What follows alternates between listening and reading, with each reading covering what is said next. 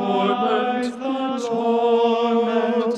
Love, love is the unfamiliar name behind the hands that wove the intolerant.